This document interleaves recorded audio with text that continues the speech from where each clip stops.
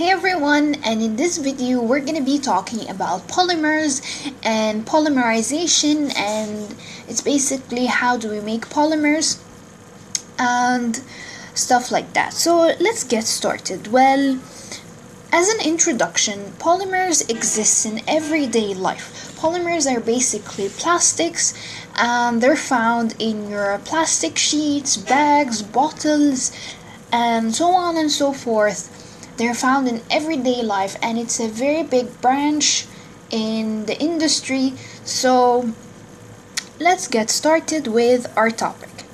Now, what is polymerization? Well, polymerization, I know you're gonna freak out from my diagram, but it's okay.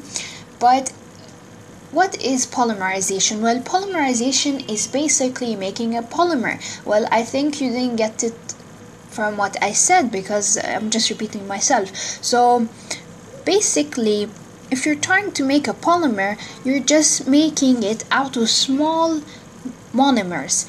And those monomers are alkenes. So this is an alkene which is actually ethene. And in order to make a polymer from ethene we're just adding thousands and thousands and thousands of ethene molecules so this is the first one the second the third the fourth till we reach like 10,000 of those well you think yeah it's pretty much a huge thing. So these little units right there are called a monomer. And you're stacking thousands and thousands of monomers in order to get the polymer right there. And this continues on and on. So this thing right there doesn't stop at 1, 2, 3, 4, 5, 6, 7. So these are 7 carbons, but it doesn't stop right there. It continues indefinitely.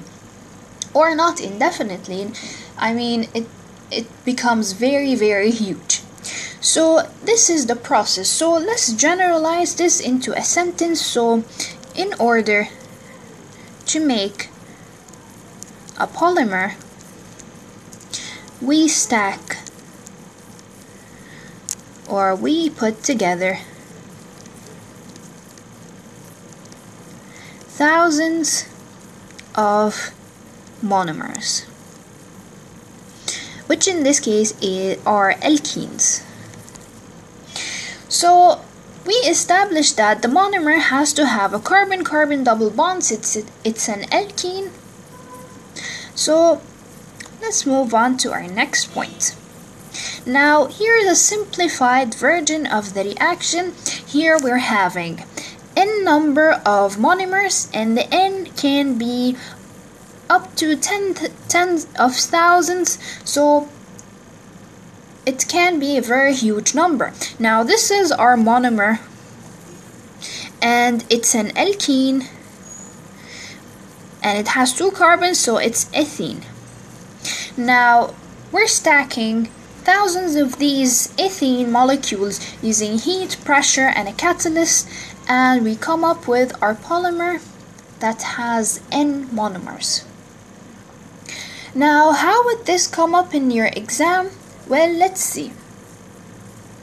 Here's a question. Well, the question says identify the monomer from this polymer. So you have a polymer and it has this weird CH3 and C's and H's and you're freaking out. And it's a big compound and you think this is outer space science well it can be as easy as this well he wants you to find the monomer he wants you to find the smallest piece that we stack together in order to get this huge thing. So watch out for the repetition. So we go from right to left or left to right but I prefer going from the left.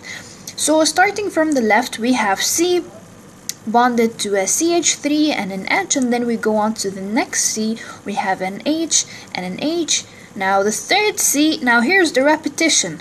So you have here CH3, CH3, and you notice there's a repetition right there. So this is where your monomer ends. So this is the starting of the monomer, this is the end of the monomer, and that's your answer for the question. Now, the question is, this is a polymer.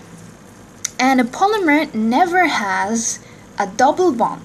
So the monomer is the one that should have the double bond. So what do we do? Our monomer should have a double bond. So we get C double bond C and this is bonded to an H and CH3 and another H and another H and that's your monomer. So let's go over this one more time. So you're given a huge, huge polymer and you want to identify your monomer, which is the smallest piece that you stack together in order to get the big polymer. So you watch out first for the repetition. You go from right to left or left to right and then you see here there's a repetition of CH3s and H's. So you start from here, this is where the monomer starts and where it ends. And you ask yourself this question, a polymer never has a double bond, but the monomer, its monomer has a double bond. Therefore, my answer should include a double bond. So here is our double bond C, double bonded to C, and then we put our elements which are CH3 and 3 hydrogens right there. So that's it for polymerization and polymers.